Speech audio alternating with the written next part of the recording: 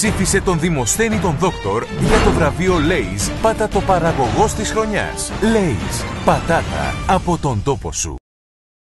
Ψήφισε την Ασπασία της Σκληρή για το βραβείο Λέις Πάτα το παραγωγός της χρονιάς. Λέις. Πατάτα από τον τόπο σου. Ψήφισε τον Φιδία τον Χαμογελαστό για το βραβείο Λέις Πάτα το παραγωγός της χρονιάς. Λέις. Πατάτα από τον τόπο σου.